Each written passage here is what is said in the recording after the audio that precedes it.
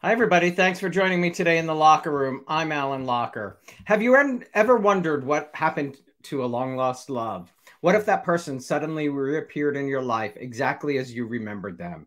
What would you do?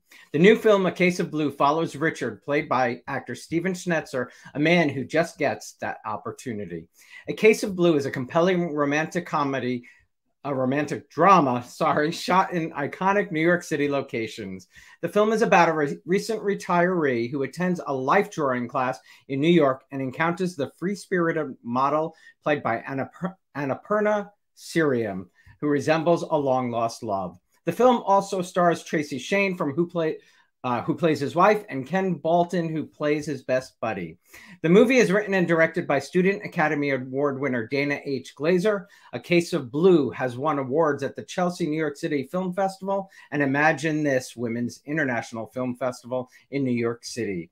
The movie is currently available on most streaming platforms, including Amazon, iTunes, Apple TV, and more. Please welcome all three uh, to the Locher Room Stephen Schnetzer, writer director Dana H. Glazer, and producer Suzanne Ordas Curry. Suzanne, Dana, I got tongue tied. My apologies to all of you. you did fine. Thank you all for being here. Dana, I didn't say it to you backstage. I said it to Stephen. I really, really enjoyed the film. Congratulations. Congratulations. Um, Suzanne can't hear us. You might need to unplug your mic. Suzanne, can you hear us? But anyway, Dana, I love the film. I thought it was really sweet and beautiful. Um, I gave a brief synopsis. Yeah. So you, in your own words, tell me, you know, what the film is about and where where the idea stemmed from. Oh wow! So the film uh, is about a recent retiree who discovers who who is given a uh, a gift certificate to go to an arts class in New York City, which was a place that he went to when he was in his early 20s. Uh, his, his family wants him to reconnect with. I can't hear you, Alan. No. um, there you go. You can hear us now? Yes. Okay. Uh, don't, don't touch anything. No. don't touch anything. Sorry, Danny. Continue. No, no, no worries.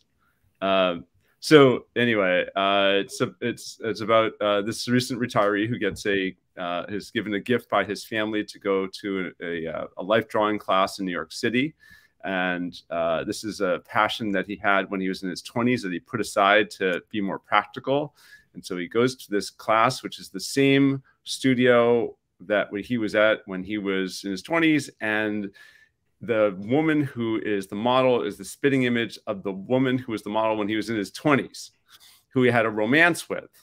And so it kind of throws his life in a degree of turmoil. that, that's a good that's a good understatement. Stephen, uh, what drew you to this role? The stage of my life that I'm at, um, the the journey for the character, um, meeting and auditioning with Dana, and also uh, the quality of the actresses and actor um, that I read for during the audition process. In a, that's it in a nutshell. Um, yeah, I was curious because it, you know, you you just said it, but the the time in your life, could you relate to him in some way? Completely, yeah. Um, it's a when you get older, it's a very provocative time. it's it's, uh, it's, it's uh, I don't know. There's a lot more introspection. Um, younger and middle age, you're doing. Uh, the focus is out, and when you go beyond that, um, and kids are grown up and out the door, and your career path is you know moving towards retirement maybe or it's not um, it, it's not a, a, real ambitious phase in terms of uh, got to get the next film got to get the next show for an actor or whatever um, it's time to uh, take stock um, i think of my parents a lot more not when they were younger, but when they were older. Um, Mhm. so it's it's a real uh, reflective time, uh, and this character has a jolt, and uh, he's trying to deal with um, kind of the the post trauma, but also um, what what life presents him in terms of the jolt of meeting this mysterious person At, at this exact moment in time. at that phase to Yeah. carry him as a catalyst Yeah. onto the next, you know, light Yeah. at the end of the tunnel. and I want to be careful we don't give too much away because I, I, you know, I. I Did I, just do that? No, you did Yeah, it. you did No, perfectly. You were you- you're you awesome, did it. Steve. You did it perfectly. Dana, And- you, you have my permission to go.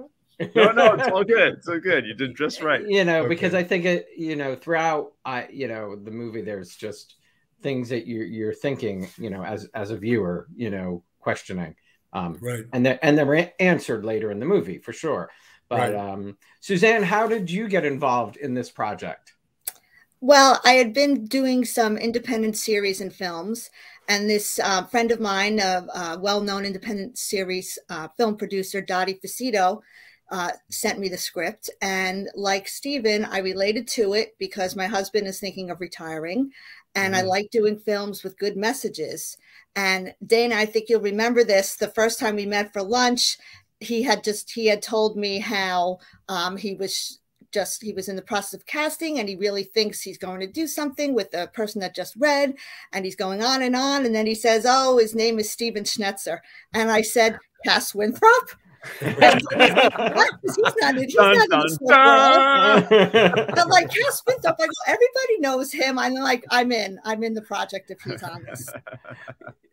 yeah you're you you're a big soap fan correct I am. I was I another world your show Another World. I would. I'm an NBC person, but I'll have to say, um, in college, kind of watched all of them, but always been NBC since I'm. A, I was about 13 years old.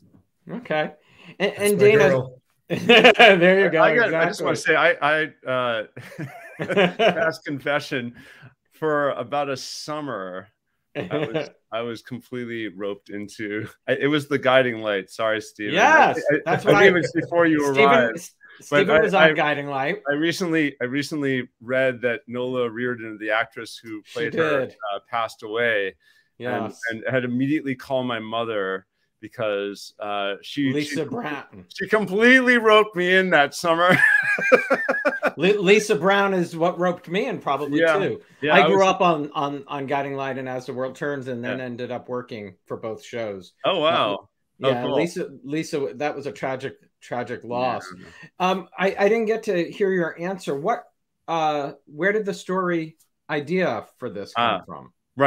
So you were telling you were telling what the movie was about. right, right. So the the impetus was it's it's it's kind of a it's it's sort of a disjointed story in the sense that uh, just before my first son was born. Uh, in 2003, I had this idea that I should go to a drawing class in New York City. So I signed up for the Student Arts League, and I went and went there and and uh, learned that I'm really not a very good drawer. but but there was a But those are good things to learn. I could tell you, I am not either. there was a woman.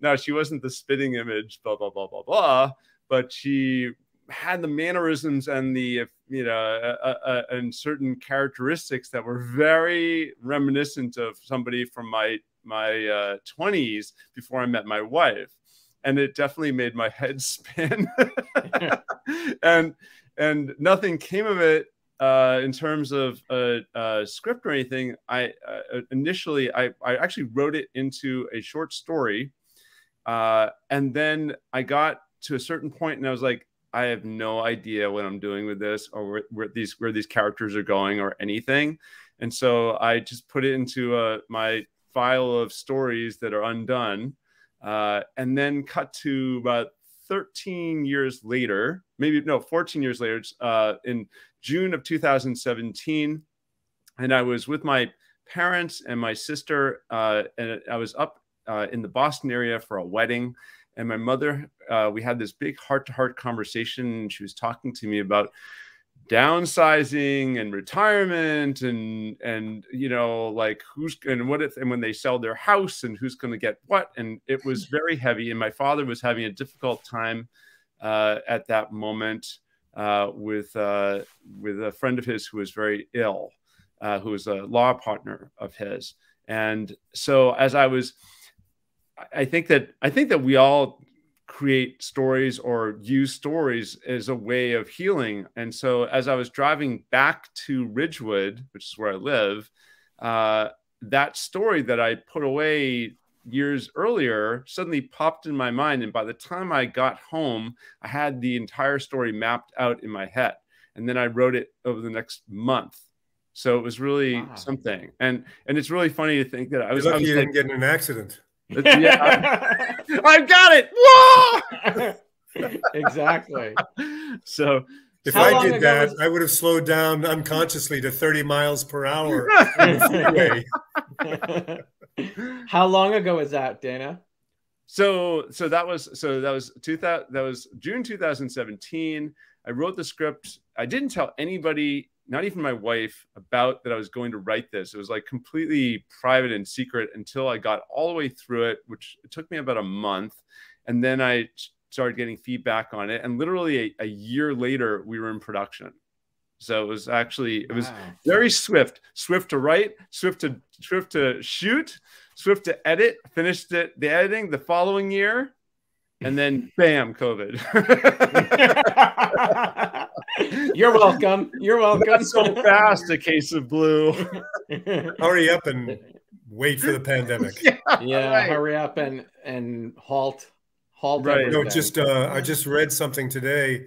We're entering year three of it. Yeah. Wow. Next yeah. year, I mean, wow. you know, a couple of months, and it's the the beginning of the third year of all of this. Yeah. So. Strange journey that we've all the world's been on. Strange days indeed. But I digress. Let's get back to the film. Stephen, speaking, um, Dana took a class. Um, are you artist? I know you're artistic as an actor, but artistic in in the uh, hand drawing. I'm probably worse than Dana uh, and you.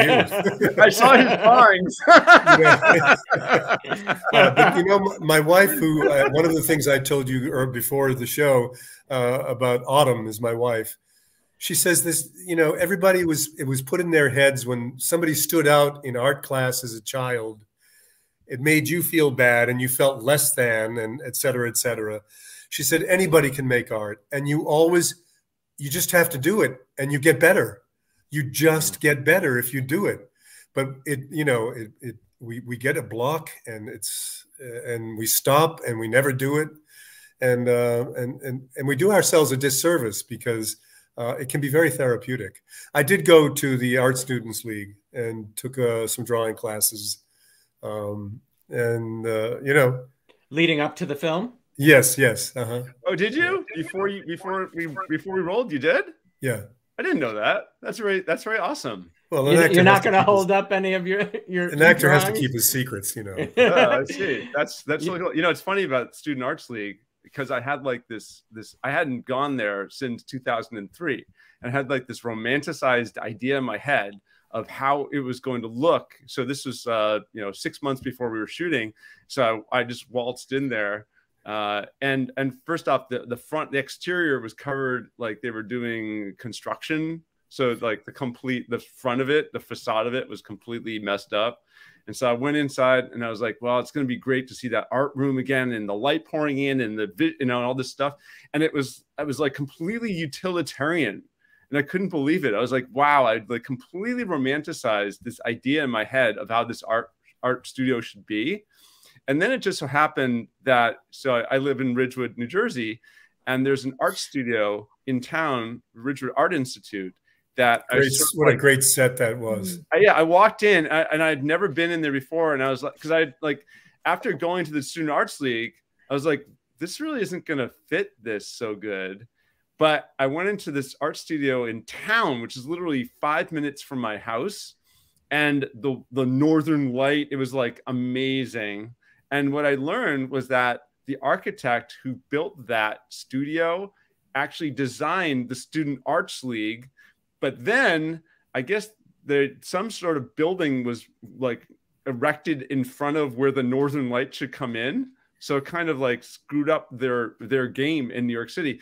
But so so what we had the romanticized vision of the student arts league was appropriately five minutes from my house. It was really quite and, and that's that where he took the class? That's where he yes. went? yes. Oh wow. Right. that was a beautiful the, beautiful beautiful room beautiful very great it was a great set very evocative it was a great space to work in yeah it, it, yeah. totally I, I hope that the film may inspire someone to draw because it's something and i think during the pandemic a lot of great art art was created Mm. because mm-hmm. it's something that you don't need anything except a pencil and some paper to do. And it's, exactly. you know, with all of the technology these days, it's just something that, like Stephen said, anyone has the ability to create art.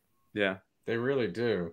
I mean, yeah. the, you know, digitally, it's it, it's even something uh, to master. Suzanne, tell tell everybody who's watching what a producer does. I know it's different on every production, but it, generally, and then what you did as a producer for this film. Sure. Well, there's a lot of different kinds of producers. There's above the line and below the line. I'm usually above the line. I do different things for different films. Sometimes, if I'm involved early on, I'll help with some of the major um, decisions or some of the casting. Uh, for Case of Blue, I came on during production um, but I'm mostly acting as a producer of marketing and distribution. So when the film was completed, I helped secure a platform for it, the distribution, work on the marketing. Um, we're going through the different windows now. Um, and there's a lot that goes into that. Alan, you're in PR, so you know how hard it is to do things. Mm -hmm. But anytime I work on a film for any decision, I'm always thinking about what can we do to get viewers to watch the film and enjoy the film? Because you need eyeballs on your film. And the way that independent film um, has evolved through the pandemic and even a little bit prior to the pandemic it's getting harder for independent filmmakers to make money. And i certainly hope they come up with some other kind of uh, distribution method um, so it's very tricky being a producer, trying to get it out there. And um, there's definitely a skill and just luck in getting your um, film right. placed anywhere. I, my, I basically started my career in film at Disney in the marketing department. Hmm. N- not independent. this is a whole lot easier. definitely not independent. You know, I was there during the Little Mermaid and Beauty and the Beast and Lion oh. King time, so it was it was something. Mm. Um, uh, Stephen, please talk about working with uh, Tracy and An- how do you pronounce Annapurna? Anna, Annapurna Sriram. Sriram. Thank yeah. you. They were, and I meant to ask that before, and I apologize because I normally like to pronounce it correctly. as long as you get Glazer, Schnetzer, and curry rice. Good answer. Good answer. Uh,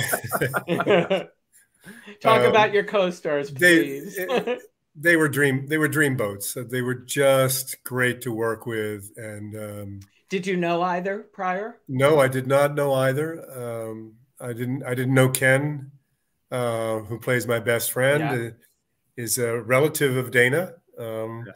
He kept oh, really? family there. Yeah, oh, that's um, awesome. But is a, um, a Bo- an actor out of Boston, my hometown. So um, they were they were just great. It was easy peasy to work with them. Um, Dana was encouraging, so uh, we we would do a, a bit of improv, uh, but we stuck really closely to the script. Um, and we just uh, it was really smooth. They were they were lovely to work with. But it was hot. Remember? It's hot. It was yeah, the summer. It was hot. Remember those yeah. things, Suzanne. Yeah. hey, Stephen's in I've Florida now. That, that's going to be hotter. it was it was really great working with with Stephen and and Annapurna and Tracy and Ken, and, and primarily because uh, they really elevated what I had written. You know, when you when you go into this sort of thing, if you're like stuck on this is the script and you just read the lines and that's how it is it's mm-hmm. it never comes out the way it should. And what they were really able to do was was take what I did and elevate it. And and there were points where I asked them, let's let's work this out, let's improvise it, let's play around with it. And I think a lot of the some of the better a lot of the better moments in the movie were a product of that, and and that was really an amazing thing. And the other thing I just want to say is that uh, really it was it was such a joy working with Stephen uh, in particular, as well as the other actors, because they Stephen and the other actors are in the moment of a scene, and which it's really amazing where if something so there's a scene in Washington Square Park, for example, and there's a moment in the movie where Stephen and, and Annapurna are leaned up against the Washington Square Park uh, fountain, and this bicyclist comes roaring fast and almost runs Stephen over. Only in New York. And, and, I, and I think any lesser actor would have been like, what the hell? Cut, cut, cut. Let's do that again. And instead, it was just like in the moment, whatever's happening, you know, just go with it. I mean, that that was the joy of of it. it was every take was like it was happening for the first time ever and that was a real that was such a joy so that that little moment that i'm describing is in the film because right. it was well, a that, lot that's stephen's you know? experience in daytime television when you don't get yeah. really an opportunity to redo it right well that's about the nicest thing you could say to an actor dana thank you well um, i also you know having what dana just said about it ele- you elevating the script when i read scripts i have a certain picture in my mind of what it will end up looking like. And this surpassed all of my expectations. And Stephen, the, the, way you portrayed the character, and I don't want to give anything away, but at the end of the movie, I just wanted to give you a big hug and say it's going to be okay because you were just so convincing in that role. Thanks, Susan. Thank you. yeah. Well, you know, uh, let's throw some kudos back. Uh, you know, Dana, no, a lot of people would be threatened uh, to do what you did.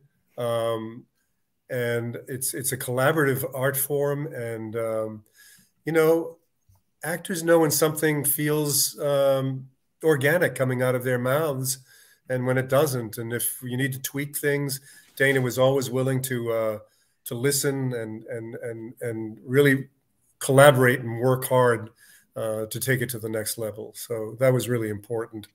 Thank you. A lot of people get doctrinaire and very protective and defensive, and and then you, you you're you're stuck, you know.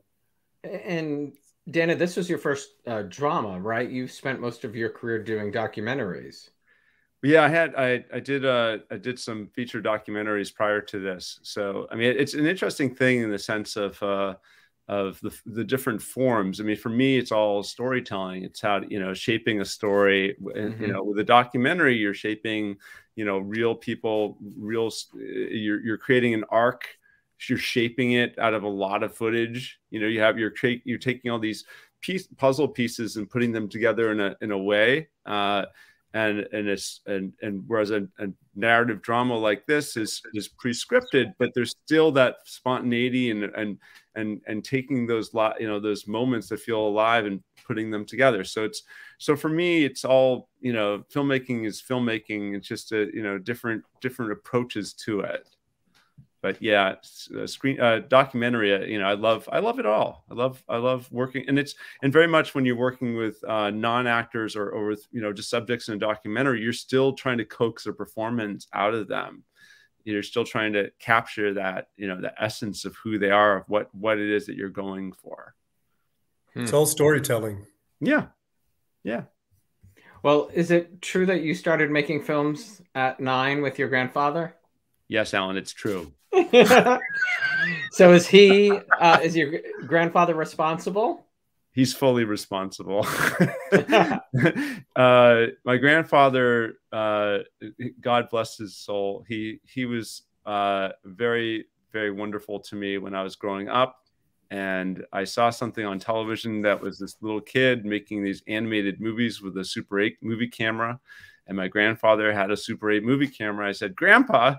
Let's make let's make a movie And he said, Well, all right, Dana, well, you get the story and you come up with the characters. And you and, and, at the time it was claymation. I realized I have no patience for, for animation. But at the time it was claymation, you know. And so he told me, and, and I, then I built this entire like set in my basement uh, at the age of nine, and and then we went and shot the whole thing, and I called it uh, Dane-Gramp Productions, uh, and that still stands oh, uh, today. So that's I did that for a number of years, and then I just graduated out of claymation. I don't have the that's... patience for that. I love that. That's a great story. Thank you. Thank Stephen, you. can you remind us who or what influenced you on becoming an actor? Mr. Chisholm in high school. My my senior year English teacher. Oh, English teacher.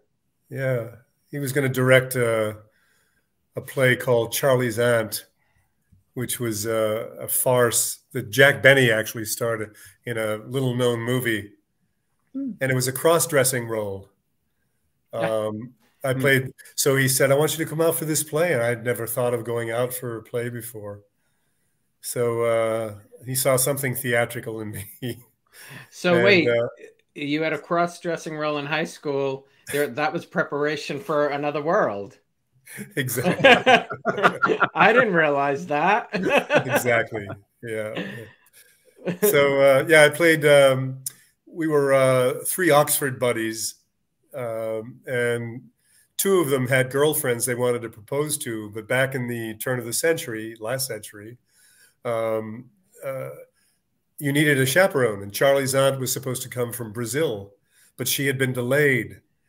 So they the girls would not meet them without a chaperone, and so they put a dress on me. I played Lord Fancourt Babberley, and his nickname was Fan, Fanny Babs.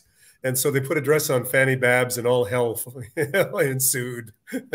but you know, we did it like two performances or one performance from in the high school gym for the for this the whole school turned out and all of a sudden i, I was just uh, it was a peak experience um, they laughed they got the humor um, they thought we were funny i, I don't know it just uh, I, I was floating after that experience i did a couple of more high school plays i went away to university and um, I didn't think of acting as a serious profession. You know, I'm from New England, a, a very practical part of the country. And back then, there weren't many, you know, New England, Massachusetts residents that went on to uh, Hollywood. Um, now there are, you know, there's Affleck and Damon and on and on and on. Uh, uh, Schnetzer, no. Um, and, uh, and so I kept going out for plays. West Side Story is out right now my big college epiphany experience was playing Bernardo in West Side Story, and that, that was a um, that was a production that um, was a combined production between the music, dance, and theater departments. It was a big thing, big deal, and we did a you know major character work and uh, animal study and and uh, improvisation and I just loved it, man. So I kept doing you know, throwing myself into these college productions and and then one thing led to another. So do you have because I know you you did a lot of stage roles. Do you have a favorite stage role that you've played? Oh gosh. Uh, you know, the reason I like Dana's film is because I like carrying the ball. I carried the ball as Cass when I was given storyline. You know, it succeeded or failed on on my shoulders and my my mm-hmm. partner, be it mm-hmm. Frankie or whomever, Lila, whatever, uh, Cecile, Kathleen, um, and uh, it's the same with with Dana's movie. Uh, I had to, you know, I was the guy, and I I like that responsibility. And uh, there's something about being out there the whole time, or being on stage from the opening curtain to the end. Um, that and you are in this film. You, yeah, yeah, yeah. And so my favorite stage role, I think I, I did three productions of Edward Albee's The Goat or Who is Sylvia. And my character enters, in, you know, right at the top of the show, and he's on all the whole time until the bloody end, and I mean that literally. And wow. um, for one thing, it really cuts the nerves. You know, you're you're you're, ang- you're anxious or have a little stage fright, but once you step on and start going moment to moment, it's like being on a roller coaster and It- the ride it- takes you. Right. And all of a sudden, you're standing in front of an applauding audience and think, God, that that was the fastest hour and a half of my life. Where to Uh, go? Yeah. So yeah, uh, Albee's play, The Goat. I, I did it. Uh, I was understudying um, Bill Pullman on Broadway, and I got to do a dozen performances there. And then I did a production of that uh, at the Arena Stage in Washington D.C. A great production, and another great production with uh, up in Boston at the Lyric Stage Company. Oh, wow. That's great. Suzanne, you've worked with a ton of daytime actors Stephen, Kassie DePaiva, Nathan Purdy, Katie McLean, Trent Dawson, and Martha Byrne. How did you start working with daytime actors? Well, I have to say it's Martha Byrne. Um, I was doing I was doing some PR for a girl on a reality show. Martha, who lives in the same town as me, um, was her manager. So that's how I met her. Then I get a call from Martha about a month later saying I'm acting. I'm putting together an acting school. Michael Park was one of the Yeah. teachers. The late Lisa Brown was a teacher. Will you do my PR? And I said, sure. I'm like, this is like a dream job to me. And then I did PR. She had a web series called Gotham. I did a little PR for that.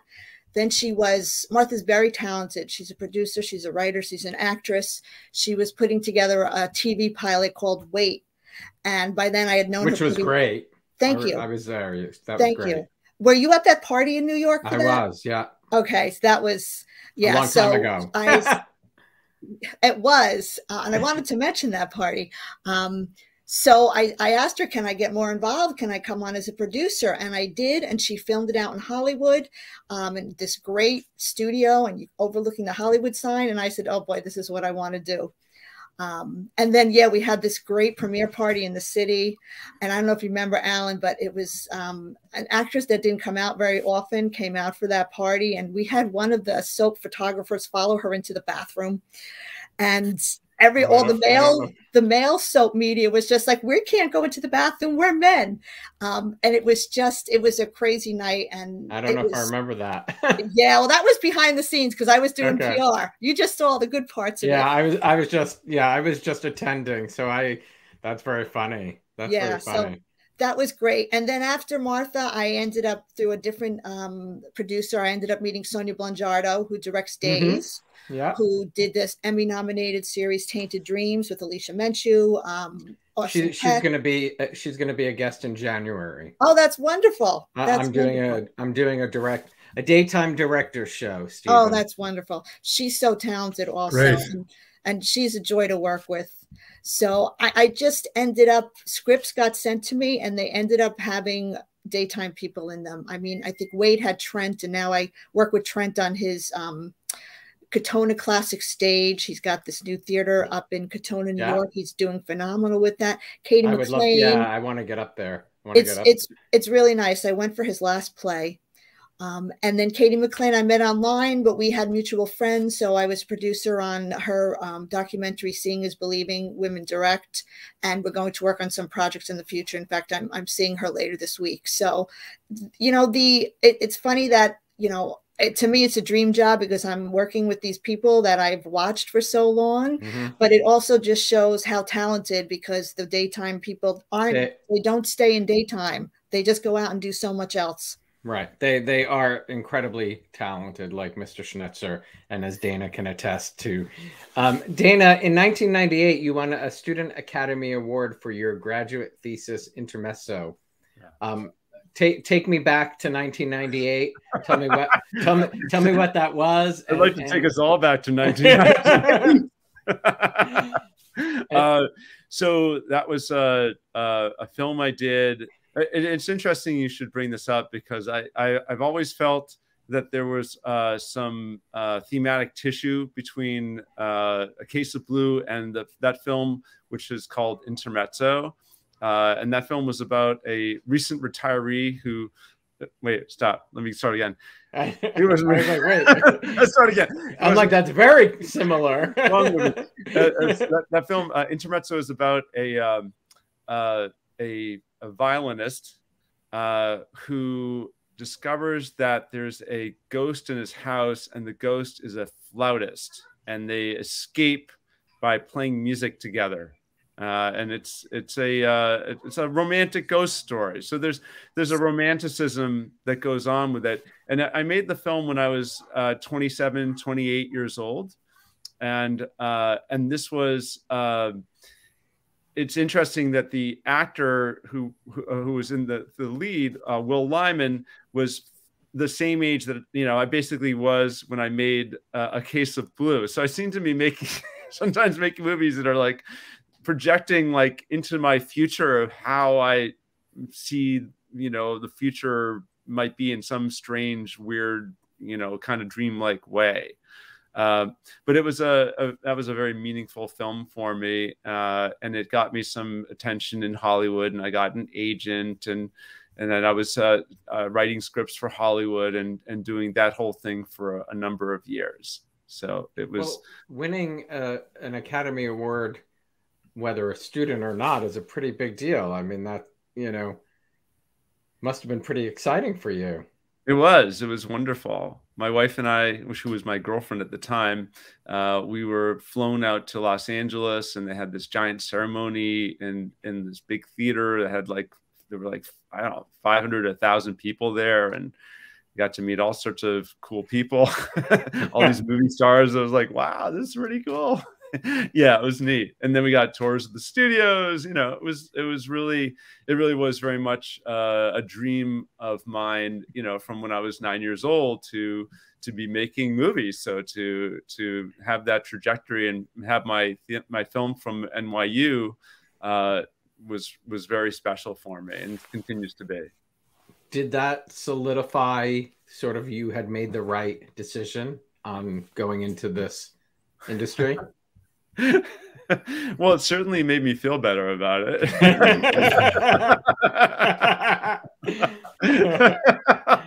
I, I, mean, it was funny because um, the the NYU uh, graduate film they, they, were pretty intense over there, and uh, and the day that I found out that I won a Student Academy Award was the same day that they had my graduate thesis review. And so uh, the number of the professors were from Europe and didn't have the same kind of sensibility that I had uh, in terms of filmmaking. And so they were all like, We don't like your movie, but congratulations on the Student Academy Award. so it was sort of like a, a, nice umbrella for me to go into that situation. Uh, but it, you know, it was a that was a very meaningful thing, uh, and you know, certainly uh, it, it, demonstrated that I was heading in the direction of where I should be going. Uh, so that was helpful. Uh, and you know, it was a great way to to end uh, one's career at NYU Graduate Film. So, yeah. Absolutely. I can't really think of a much better way. right. for, for, sure. Uh, Stephen, fans you know, have been asking um, about this lovely lady. Um, you know, they all know that you two are incredibly close. You guys are great friends. Can you just talk about Linda? I recently spoke to her, and uh, you know, she, she she's a dynamite woman. She sure is. Um, she's pretty dependable. You know, she's a powerhouse and always has been. Um, she's just a, got a real life force, and uh, we love each other dearly and deeply. And um, um, being in South Florida is tricky because I can't go to her house for her Christmas party now. It's, uh, yeah, which, which I think probably is this is this weekend. I was to um, say it's probably very soon. Yeah. Yeah. Yeah. And uh, no, she's a great friend and extremely loyal. Um, and so talented. When you look back on those 14 years, 14, right, at another world? 17. 17. Oh, yeah. What, what, you know, what immediately comes to mind? Oh, too many things uh, come come to mind. It, it's uh, we were given so many fun stories to run with, um, and so I think the main thing is the writers and producers had faith in their actors and they would present stories uh, that featured various of us. And then as the story developed, they would see what we were bringing to it. And a little like what Dana was talking about, uh, and they would use our tendencies to, to raise, raise the bar even more. Um, and there was a flexibility there and there was a sense of fun there and it was just a great company. You know a lot of people went in it came in and out of those doors out at that studio. Um, a lot of terrific people and there were hardly there was hardly one clunker. I mean it, it was just it was it was such good fortune that way you know well there was so there was that. No, never mind. Uh, there was that one. There was that one. Well, one of your fans said, "Sorry for this fan blush, Mr. Schnetzer. You are blush away. you are still absolutely handsome and studly as ever, and your work on Another World with Linda Dano." Godspeed. Happy holidays and Godspeed to you too. um, Dana, in 2014, your documentary, The Evolution of Dad, was invited to play at a little place called the White House. Uh, yeah. I mean, a Student Academy Award. You know, your documentary is invited to to play at the White House. Tell us about the documentary and and how the White House thing came to be. So, so uh, when my son was born in 2003, uh, I spent an inordinate amount of time taking care of him, and uh, and I was feeling a little detached because I was in New Jersey, you know, writing for, for Hollywood, and, and, at a certain point, it became there was a, like a disconnect for me, uh, and I was talking to a friend of mine and he said to me, "You should make a documentary." He was actually he won a Student Academy Award as well. We're we're friends from NYU. He said, "You should make a documentary about the changing role of fatherhood." I was like, "Huh."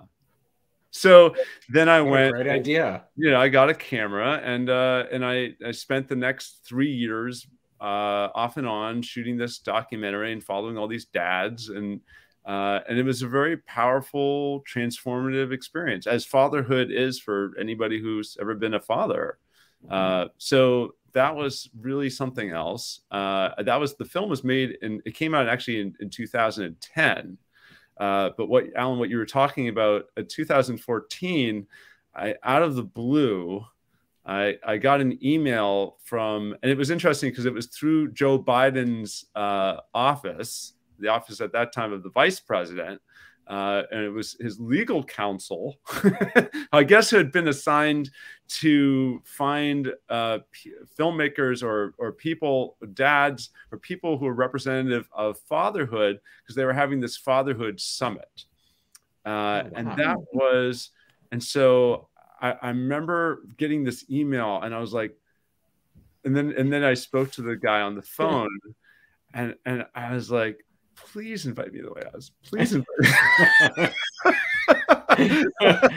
and he was like, Would you like to come to the White House? And I'm like, Yes, I think that would be great.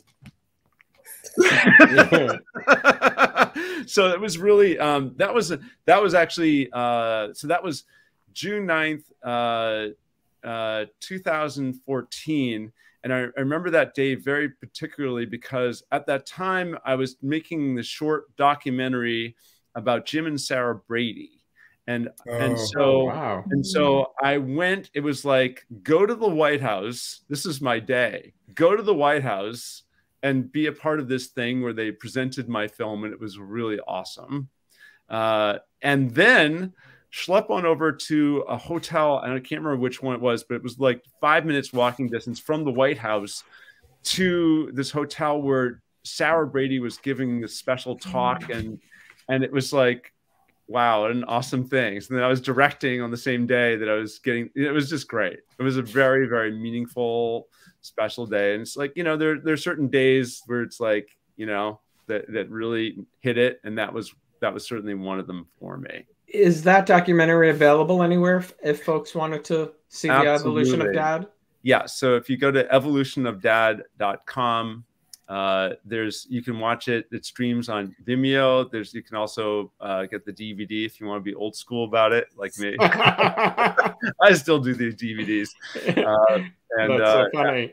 yeah, absolutely. It, it sound that really sounds like an incredible documentary. Well, thank you, thank you. It's Yeah. actually it's it's used in over 200 colleges and universities across the country and the world uh, for gender studies programs. So it's really you know it's impactful in that way, and I, I think that that's you know a big part of why I did it. So What what a legacy almost for your son too, in some you know because it was at that time when you were, yeah. Wow, that's thank you. I Thank love you. that. I love that. Suzanne, And I'm uh, getting to learn so much about you during this uh, session. all the secrets, all the secrets. Suzanne, do you have a favorite project that you've worked on to date? Well, aside from Case of, you know, it's hard to say. Um, I love Case of Blue, but I'm going to shout out to Tainted Dreams because that was filled with the daytime stars and the Real Housewife and some other stars, and got to go to the Emmys twice for that. So that was a whole lot of fun. I, yeah, I, I I need to really watch that. I, I never. I, I know a lot of great. I mean, Sonia did it, but I, I know a lot of great people were in it as well. It's got a it's got a great storyline, and it, you know, it's we're always contemplating another season. It's very hard to do another season, and Sony's involved in so many things, but it takes off in a uh, traje- trajectory that is more like modern drama than soaps are. So it's it's it tackles some tough issues. Stephen, another fan said they they almost got to see you in the Waverly Gallery a few years back. Do you have a dream role that you'd still like to play? I never went for dream role. You know, um, some it's a common question, and it's common because a lot of people do. You know, I won't die happy unless I've played Hamlet or or Lear or somebody in between. Um, but um, no, my my aspiration is to find good material and be cast in it and work with good people. That, that's that's a dream to me come true. That collaborative family feeling. When you decided to to make this your profession, were there acting role models you had at that time? Um, probably uh, a bunch of the Brits. You know, Mm. You know when I when I came out of college, the last production I was in qualified for the American College Theater Festival. We were one of ten productions that were invited from around the country. It was invited to um, uh, Washington D.C. It was under the auspices of the Kennedy Center.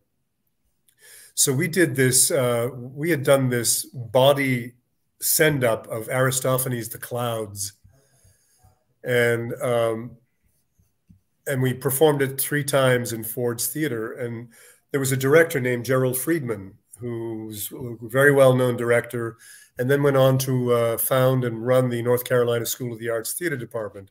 And Jerry just passed away about a year ago. Um, and he was my first professional father. Hmm. Um, he met me after our opening in Ford's, the- at Ford's Theater. There was a, a mixer afterwards. And he said, What are you going to do this summer, Stephen? And I said, I really don't know. Go back to UMass and maybe do some theater with my theater buddies. And he said, Do you want to audition for me? I'm doing Timon of Athens uh, for Joe Papp's Theater in Central Park at the Delacorte. And I said, You sure?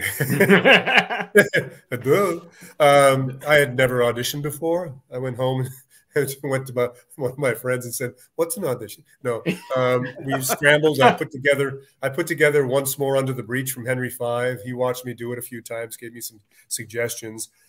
I drove from Amherst, Massachusetts, in a Bug, a Volkswagen Bug, four plus hours. got out just 15 minutes. Never driven to New York before. Um, got out, no GPS, mind you. Uh, got out 15 minutes before Found your way. I arrived. What's that? you found your way without the GPS. You know, we, we, we managed back then. I don't know how now, but we did.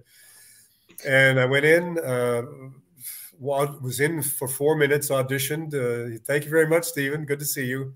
and uh, and then I got my bug and drove back to Amherst. You know, a couple of days later, Jerry uh, offered me um, spear carrier and understudy for 85 bucks a week and the promise of three months' work.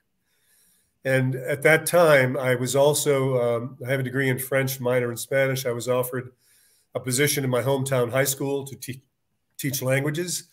And I had also applied to the Peace Corps and was offered uh, a position in an ESL program teaching French, uh, English to French speaking students in Morocco. So that was a real uh, mm. crossroads uh, or a fork, a tri fork in the road. Um, and I took 85 bucks a week and the promise of three weeks, three months work. Um, I don't know. Did I answer your question in there somewhere? Yeah, you did. You did. but that's incredible. There, but, I mean, uh, the Delacorte Theater is, you know, my God, legendary. Yeah. Legendary. And then I ended up going on as the understudy for uh, the one of the leads the last three and a half performances. And uh, the night that I went on in, in, after intermission for the second act, Jerry had come back with some Broadway producers because he was going to do a show that fall. And that led me to my next job and my union card. And so, um, you know, a lot of it is timing and just dumb luck. um, one of our fans said, How proud are you of your son? He's doing such great work. He's, what he's what, what is that like to watch? Um, it's a it's an extreme joy. Uh, thank you uh, for that. Um, I, I, just love it. I, a, uh, there's no bigger fan of his than me. I've watched uh, I've watched some of his movies six times at least, and I could watch it again. It was he did it. One of his first films, I think the second one out of the gate was Pride. Um, Book Thief was his first film, and you know I flew over to Berlin to spend a week with him while he was filming over there, and um, Pride, I've seen six, seven times, and it was on one of my flights from Florida up to New York recently. Um, and it's it's a magnificent film.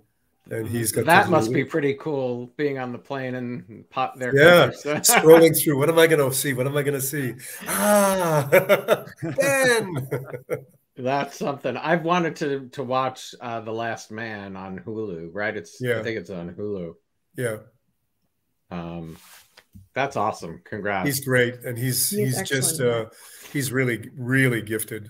Um, has a real, very charismatic and uh, really good qualities. Uh, he's light years ahead of where I was uh, at, at his age. At that age, yeah. I, I, was going to ask if if the opportunity to play Cass again somewhere popped up, would you do it? Yes. Oh, in a heartbeat. Are you kidding me? Yeah. I thought, what a great. I, I, I, thought so. You know, you, you asked what was my favorite role. Uh, I, I, I, talked about the stage play, you know, the stage work, but my all time favorite role was Cass Winthrop. I got to do that for 17 years and I actually went over to World Turns for almost two yeah. years as Hunt Block's character's lawyer and then did yeah. a stunt for five shows on Guiding uh, Light as Cass. Uh, so, uh, oh, I forgot. Yeah. I was gonna. I, I couldn't remember if it was Cass that you brought over to Guiding Light. I yeah, Ellen Wheeler had me come over. Yeah, and, uh, yeah. I was hoping that would stick, but we they, they only had five days for me. So, um, oh, and, and we need Steve. We need Steve uh, Olson to come back to days too. Well, you start the movement, Suzanne. Do a little PR for me. I, I, love Hunt Block. He cracks me up. He's a he's a he's funny, great. I love Hunt. Yeah, he's a, he's a funny guy. Dana, is there a documentary out recently that you have admired? Uh, you know, something that you. Hmm. Yeah, there's a lot. like which one? I, I was somewhat pummeled by watching. Uh, there's a there's a documentary called Adrienne uh, which is about Adrienne Adrienne Shelly.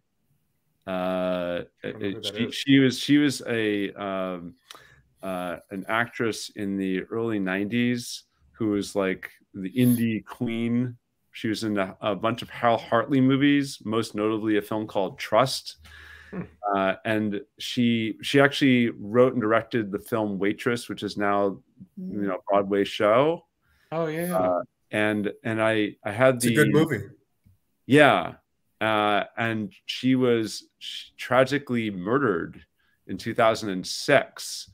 Uh, now and, that ring, rings a bell. I think maybe when I saw Waitress, somebody told me about that yeah, story. And and I I had the opportunity to meet her.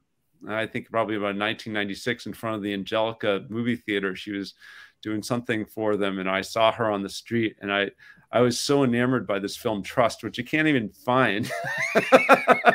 but but it's such a it's such a it was such a uh, fundamental film for me when I was uh, I was studying away in England. And anyway, I'm going off on a long tangent here. But but anyway, it was a very uh, a very very powerful movie uh, that was that was really done by her her husband uh, and trying to you know re rekindle her memory uh, and and and and go and explore it with his 15 year old daughter who was three years old when she died. So it was very powerful for me and uh, you know and i was very pummeled by it. There's a there's a there's a long-winded answer for you. No that's amazing. Um, what's next for you? Ah so uh, I'm, I'm actually uh, doing in the research stages of not a film but a it's it's more of like a, a, a locational uh, detective game that will be in my general area where I live, uh, which is it, will play somewhat like Twin Peaks, uh, in which there's somebody who's missing and you have to go and piece together this mystery of what happened to her by all these videos that that uh, and and it's like a it's like a big puzzle um, and it, it will delve into all sorts of interesting backstory and history and anyway something i but it's not it's not a movie though. Not a movie. No it's not a movie. So it's something so I, it's actually something it's something i wanted to do before case of blue. I was actually like starting to like really shape it, it is it like then, live live theater? No. No. It's going to be uh web based uh, or phone like app based where you mm. basically in order to solve the thing it's it's like you have to watch the video and like piece together what's what's happened but you actually have to go to locations where it took place because the video will only tell you a certain amount so it's sort of like it's like basically i'm designing a feature length film shooting it at shooting all these little pieces that will play into the film and then throwing the pieces here, here, and here, and here, and you have to go and explore and find what happened to this person and figure it out. So it's so you know I, am very involved with uh, with the Ridgewood community, and and uh, you know a, a, good portion of the film was shot here in Ridgewood, and I'd like to do things that are based where I'm located. It's you know That's especially awesome. having having three kids and a dog. Uh, I'm this is my world and i'm very involved with the community here and the people who run the the the local the government. And you know i've been involved in all sorts of different ways on the arts council. And so this is uh, a, another way of sort of exploring uh, the town uh, but doing it in a, in a way that kind of will bring, I think, bring people to Ridgewood as a as a just as a uh, yeah. a destination, add an extra layer of like intrigue to the place to come here, and there will be, you know, I'll be casting it like a film, and you know, having characters and such. Uh, I haven't even told you about this, Susanna. Sorry. Phenomenal. No, you, you wouldn't believe how the community came together and participated in a case of blue. It was yeah, it was something to behold. Are are you born and raised in Ridgewood? Not at all. ah, okay. I'm just adopted. yeah, I, I, I, think I think like like uh, uh, Stephen, guiding... I'm, I'm, from the Boston area. Okay, I think one of our guiding light actresses lives there. Oh yeah, who's that? If she's still there, Michelle Ray Smith. I'm not sure if she's still there. Huh. I have to ask. Huh. I, I know she was for for a period. And Suzanne, you have a talk show you're working on, right? I do. Um, but first, I just want to say, Alan, thank you for having me on on this You're talk show. Very welcome. Um, it's just it's a mecca for soap fans. You know that, right? um, I am. I started a show called The Libby Show, Lunch with the Ladies, and it's it's targeted towards women over a certain age. I had started it a couple of years ago, didn't really go anywhere with it, and then during the pandemic, I gave new birth to it, and we just launched the first season in December. That's awesome. Good luck with it. There, I mean, the pandemic that you know, it's so interesting. I mean, there are so many things that came out of that. You know, this is one of them. I, you know, if you would have asked me this two years ago, I would n- never have imagined I'd be sitting here talking to you three or, you know, having something, you know, of my own like this. So, but really, guys, thank you so much. Best of luck with a case of blue. Stephen, thank best you. of luck in Florida. Thanks, Alan. Enjoy. It's great to see you as always, Suzanne. Thank you, Dana. Best of luck. I, I'm gonna look for the, you know, I want to watch your documentary. Oh, thank you, Alan. Really, really it's, it's, such a pleasure, and and really thank you so much. Your your questions were really fantastic. Really appreciate that. Thank you so much. Thanks for for spending the hour with us. And a case of blue is available on all streaming platforms. Uh, go check it out. I loved it, loved it, and uh, I think you'll really enjoy it's it. it's also available uh, on on the website at acaseofblue.com for for those who want to watch, you know, like get a DVD of it and that sort of thing. That's great. Uh, Stephen, before I let you go, Christy just said, Hi, Stephen. I met you in Lima, Ohio years ago when I was a teenager. oh, yes. Christy from Lima. Hi, Christy. but it, have, that's have the, good holidays, know, everybody. That's the power of another world, you know, because if she was a teenager and she's tuning in today, it really. Our fans were the best, are the best. They just they are. are. Yeah. 100%. Have a great day, everybody. Thank you, Alan. Bye. Thank you, Bye. Alan. Bye. You're so welcome. Bye. Bye. Thanks for tuning in, everybody. Don't forget, thank you to Stephen, Dana, and Suzanne for joining me today. Check out A Case of Blue. Please subscribe to my YouTube channel uh, right there down below. Turn on the notifications for reminders of all upcoming shows. Tune in tomorrow to meet uh, three incredibly talented voiceover actors Susan Eisenberg, Maria Canals Barrera, and George Newbern. These three play Wonder Woman, Hawkgirl, and Superman in the Justice League animated series. Have a great night, everybody, and I will see you tomorrow.